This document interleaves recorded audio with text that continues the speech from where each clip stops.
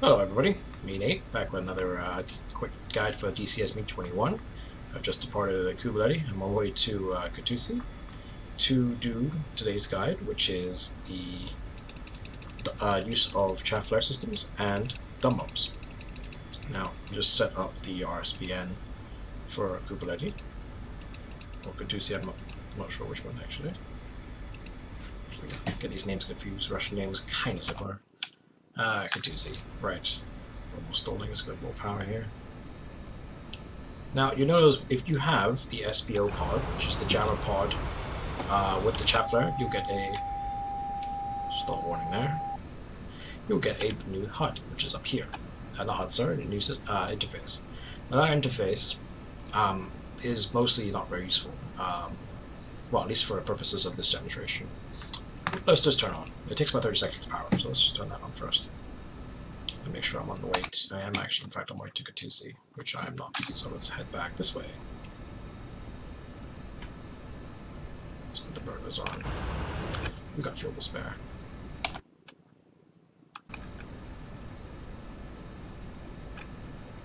Alright, there we go. We picked it up on the RSBN. So, 53 miles, give me time to brief you. Right. Now, let's just give you, let's run you just down through this stop that here quickly because it's really easy. Um, we will probably we'll not be using any of this today. So here, the, these are jamming stuff for um, radar stuff. So this is active or passive jamming. There's two programs for it. It doesn't actually specify in the manual what the programs are. This is continuous or impulse. Now, if you looked up um, how ECM works, um, there are different ways of jamming it, which is continuous, which I believe is on one wavelength, or impulse, um, which I believe is uh, different wavelengths at, at different times. Um, someone probably can correct me. Um, I'm not very well qualified for this. I'm not sure how effective this is against a F-15, which is, is a, probably the primary opponent for the MiG-21 so far in DCS. Um, it will probably just burn through the jammers. I don't think it's particularly strong. Now this is the one which is more useful. Manual automatic, I suspect that if auto is probably what it sounds like, which is it ch chucks out flare on automatic or manual. So we're going to have the manual. This one is the one interested today. Now currently it's on off, but you can have it on single. Sorry, correction, the first part one where the, the uh, flicker is in the neutral position is paired and top is single but continuous. So let's open the cover and have a look. So there's one. One would have just passed outside. You can see it's chaff. If I have it on the middle one, paired. Oh. Don't think it likes me doing that. There we go. Pair. Easy.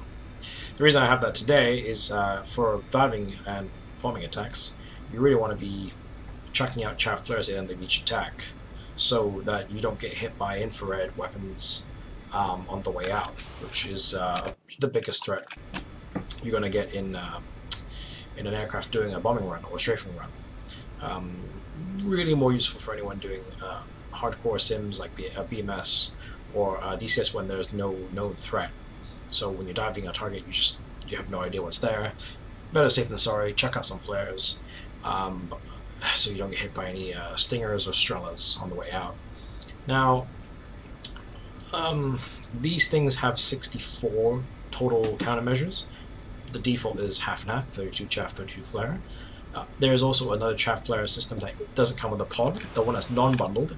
It will be located when you add it on at the rear of the aircraft, and it will look like uh, sort of a bee beehive. Um, it's a, it's a sort of a square box that has like beehive-shaped uh, little boxes and compartments in it, and that's a flare boxes. So just it'll release them out. Now that isn't launched up here. That is launched down here, right next to the throttle, which is not a particularly convenient location, I suppose, but this is the, this is the 60s design here. So let's get set up for a bombing run. So we're going to have an air-to-ground mode here. I want this to be a bombardment mode. I want this to be a gun mode, I believe. I actually need to be correct. Let me check. Vessels, guns, rockets, gun. Let's have gun mode. So we have all, all that stuff done. 10. And more important thing is to turn off the um, turn on the tactical drop, which will arm the bombs. Now we have on bombs panel 1 and 2, because that's where the bombs are. We have 8 Fab 100s, which are 100 kilo bombs. The vertical system is very straightforward. Um, Fab followed by any number is the is a dumb bomb with a specific weight. Now, when you have bombs, you need to be quite careful. This is the reason uh, I, I say this, I need to emphasize this, is because it's the fact that if you pull too many Gs, the bombs will in fact just rip off, and if you're really unlucky, the wings will rip off with it.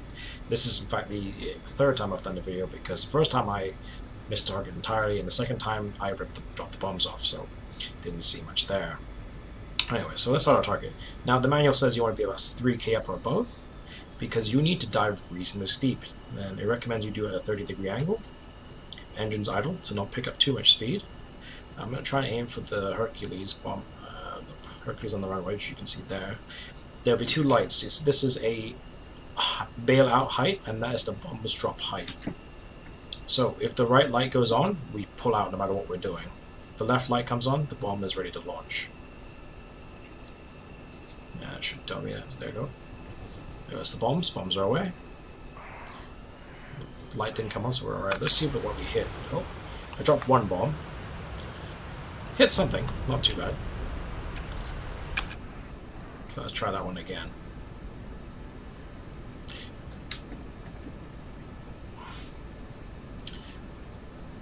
Terrible there. I didn't hit the chaff flares, so if there was an infrared missile, a Stinger or a Strela, that'd be me gone. So let's have to burn up. Luckily, didn't pull too many Gs. Um, I think there is a G meter somewhere on board, but I haven't looked it up. I think it's uh, I can't remember which one. That's the angle of attack meter. There is a G meter somewhere on board, um, but basically, if you have bombs on board, you don't want to black out. As soon as you black out, you're definitely gone more than uh, you've definitely gone more than a couple of Gs, and the bombs will just rip off. Let's try this again. This time I'll try and release more of the bombs. So the engine.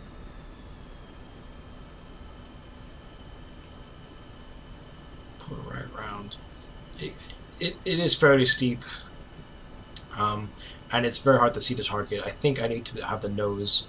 Um, you target. What it recommends in the manual is have the target at the bottom of the nose, like as so, as such, lined up against the uh, the crosshair in such a manner, and go down. Uh, hopefully, the left light will go on for launch. Uh, the right light you see there is the bailout light.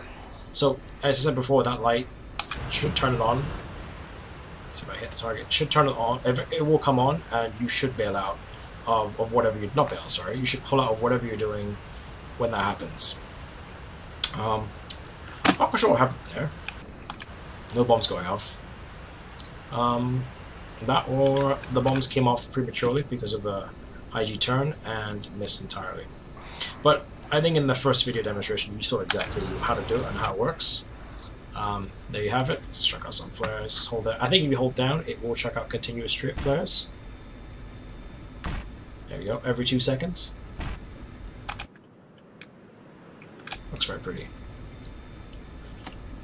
So that's um, that's pretty much it. I will probably come back at one point with another tutorial with uh, slightly more advanced techniques um, or uh, different weapons. I'll probably do one for cluster weapons and uh, probably dive toss if I can. Um, the process involving you diving towards target and dropping bombs um, whilst pulling up, which will throw the bombs because of the kinetic energy uh, it has in, in, this, in a dive towards target. Let's see if we can gun this. Probably, uh, oops, haven't loaded my weapon gun yet. Again, you can see there the right light going on, the right red light going on.